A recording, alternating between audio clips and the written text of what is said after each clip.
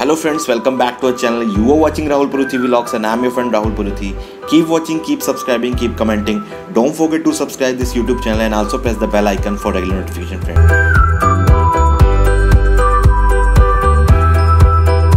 friends इस तरह की वीडियोस आप लोगों के लिए बनाता रहता हूँ।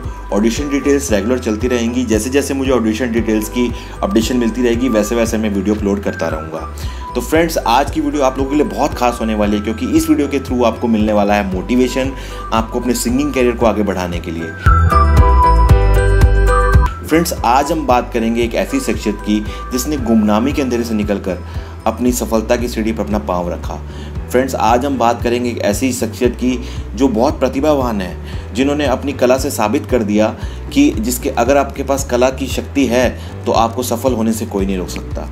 फ्रेंड्स मैं बात कर रहा हूँ इंटरनेट सेंसेशन रानू मंडल की। रानू मंडल को ऐसा कोई अब शख्स नहीं होगा जो जानता नहीं होगा। वो इतनी पॉपुलर हो चुकी हैं यूट्यूब पे या फेसबुक पे। वहाँ पर हर जगह उनकी जो वीडियोस डल रही हैं रेगुलर अपडेट्स में डल रही हैं। जैसे उनकी वीडियो आई और वायरल हुई, वैसे ही उनको एक जो चांस मिला, बहुत बढ़िया चांस मिल गया। आइए बात कर लेते हैं रानू मंडल के कुछ जीवन के बारे में।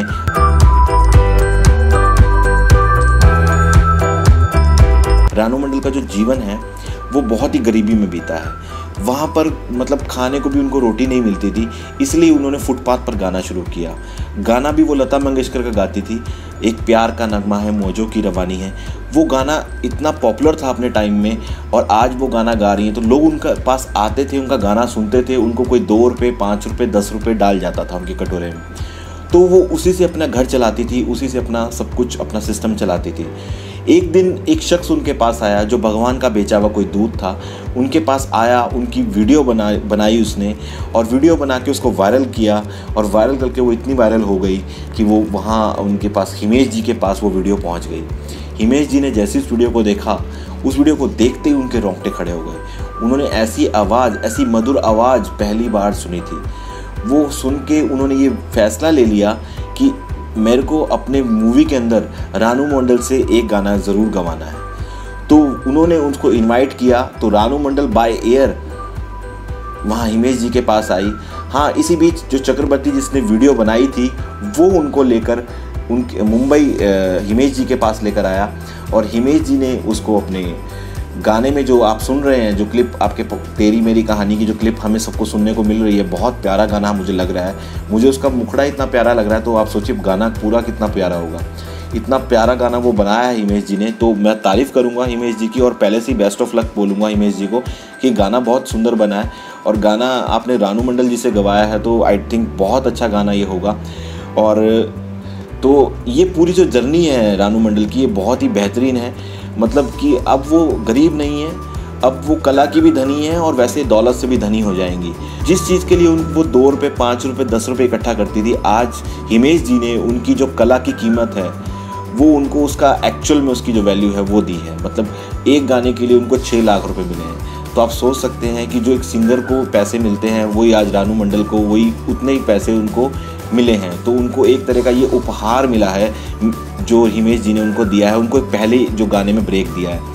तो ऐसे ही अब मुझे लगता है रानू जी का कैरियर और अच्छा चलने वाला है आगे, और मैं उनको बेस्ट ऑफ़ लक बोलूँगा, आगे उनका कैरियर और अच्छा चले।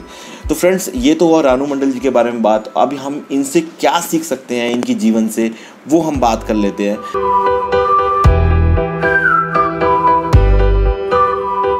सबसे पहले तो रानू मंडल जी ने हम, हमें ये सिखाती हैं कि हम एज कोई भी सीमा नहीं है।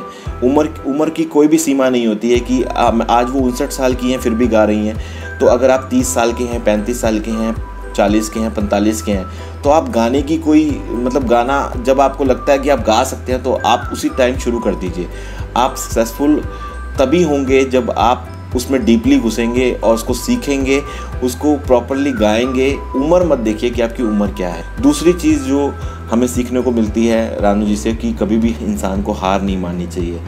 इंसान अगर जिस दिन हार मान जाता है, अपना पेशेंस खो देता है, उस दिन वो ख़त्म हो जाता है। दुनिया बोले तो बोले, जब तक हमारा दिल ना बोले, तब तक हमें हार नहीं माननी चाहिए।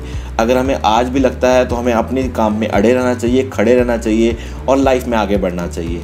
जो तीसरी चीज़ मुझे उस व्यक्ति से जिसने वीडियो को वायरल किया, उससे सीखने को मिलती है कि हमेशा दूसरों की मदद करनी चाहिए। हेल्प अदर्स उनकी सफलता में दूसरों की मदद करनी चाहिए। उसने उसकी हेल्प करी, वीडियो बनाई और उसको सफल होने के लिए उसको वायरल मतलब वो वायरल हो गई और वो इससे सफल कौन हुआ? रानू मंडल। तो रानू मंडल की सफलता के पीछे हाथ मैं मानता हूँ, वो उस व्यक्ति का मानता हूँ जिसने उसकी वीडियो को वायरल किया। तो उसके लिए मैं उसका बहुत धन्यवाद कि उसने उनकी मदद करी।